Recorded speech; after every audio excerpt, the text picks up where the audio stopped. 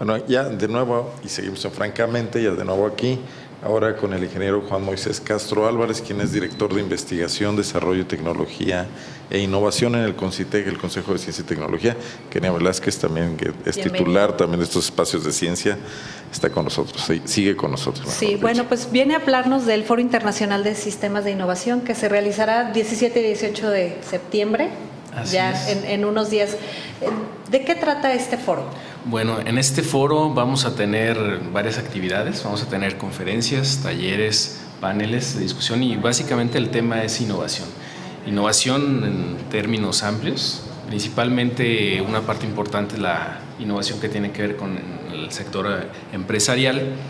Eh, dentro de nuestros conferencistas, pues bueno, nos van a venir a hablar del sector académico. Eh, tenemos unos conferencistas de talla internacional, vienen de la Universidad de Nagaoka que nos van a hablar sobre su plan de desarrollo en materia de innovación y también de la Universidad de Tokio que nos hablará de, de lo que es innovación en procesos de manufactura. Igualmente tendremos conferencistas nacionales, gente de, de, IBM México, que nos hablará de algunos proyectos que están desarrollando, y experiencias locales también de un panel que vamos a tener dentro de este panel una empresa guanajuatense, Biocron, que ganó en este año el Premio Nacional de Innovación y que nos hablará de su experiencia si queremos contrastar pues lo que hace otros países con lo que hacemos aquí en el estado para ver cómo, cómo se ve este tema de innovación y cuáles son las estrategias que están siguiendo. ¿no? También tendremos de República Checa un invitado, del director de Check Invest, que es la agencia que se eh, dedica a la parte de investigación y desarrollo y, inversiones en República Checa. Con así checo, digamos. Diga, digamos que así, y, bueno, también nos hablarán de su experiencia en este tema. ¿no? ¿Cuándo va a ser y dónde? ¿Y dirigido a quiénes? Principalmente va dirigido al, sector empresarial, al sector académico y también nos interesa el sector estudiantil, eh, sobre todo medio superior y superior y de, y de especialidad. Eh, aunque puede, eh, está abierto a, cualquier, a todo público que nos pueda acompañar, puede asistir. Está abierto, es 17 y 18, o lo que es jueves y viernes de esta semana. De esta semana, septiembre ya. Ajá, está abierto a todo público. La inscripción las pueden hacer en, en línea eh, a través de la página del Concitec, www.concitec.gov.mx ahí se pueden inscribir. Si no pudieran hacerlo en línea, pueden hacerlo directamente en la, en la, zona de recepción del foro ya los días 17 y 18. ¿Qué será dónde? Será aquí en León, en Poliforum León, ahí va a ser la, la cita. Bueno. Y bueno, también es un buen espacio para los emprendedores.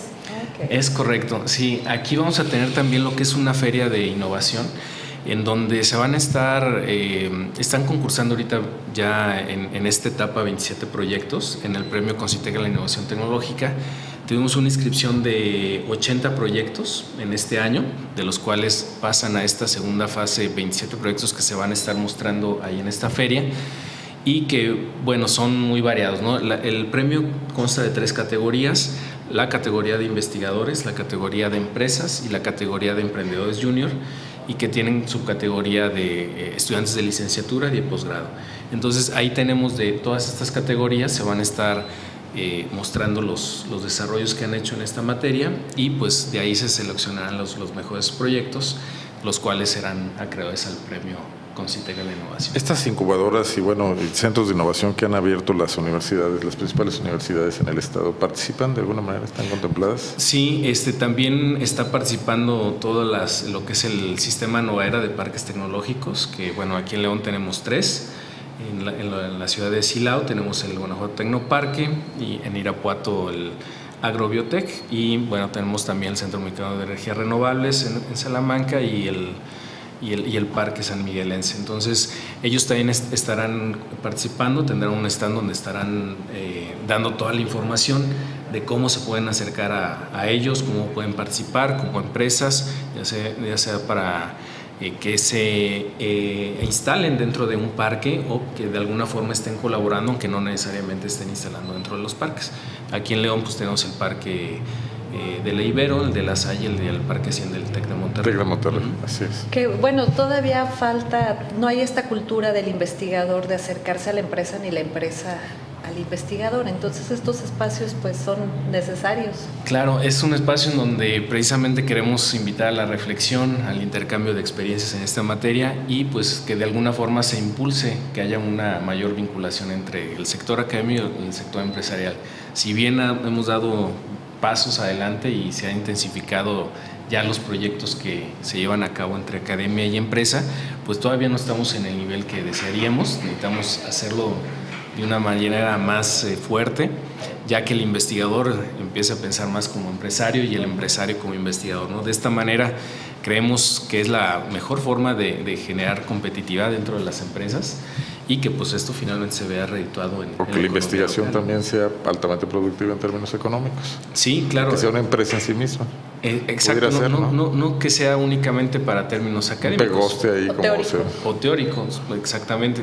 Que esto también contribuya a dar soluciones dentro del sector empresarial e inclusive también dentro del sector social, ¿no? O sea, no solo ¿Sí sienten que avanza esta tendencia, más vinculación entre ambos campos? Sí hay, sin embargo, como comentábamos, eh, sí va avanzando, a lo mejor no al ritmo, tenemos que acelerar el ritmo porque todavía... Los centros son muy jóvenes, ¿no? Los centros de innovación y de, desarrollo sí, son, sobre todo la, parte de los parques son muy jóvenes, el, el mar... Eh, el que tiene más tiempo trabajando es el Agrobiotech en, en ciudad de Irapuato pero vaya, sí tenemos, eh, afortunadamente todos están atados dentro, de alguna forma conectados con universidades o centros de investigación, en donde ya pues se tiene ya una, un bagaje en ese sentido, sobre todo en la parte académica. Entonces lo que tenemos que buscar es ese ecosistema en donde pues ya puedan convivir de una manera más adecuada y estos proyectos de desarrollo tecnológico e innovación pues puedan hacerse de una mejor manera. Por lo pronto que tengan inquietudes, pues que asista a este foro el Así es, ahí los invitamos. Jueves y viernes. Jueves y viernes, 17 y 18 de septiembre. Además tendrán una firma con universidades. Vamos a tener también una firma con la Sociedad Japonesa de Promoción de la Ciencia. Esta sociedad lo va a firmar con, con Concitec y lo que se va a provocar es eh, tratar de eh, intensificar más el intercambio de estudiantes, la promoción de proyectos de innovación y de divulgación de ciencia y tecnología, básicamente. Entonces también se estará haciendo esa muy bien, mucho éxito. ¿Tiene costo?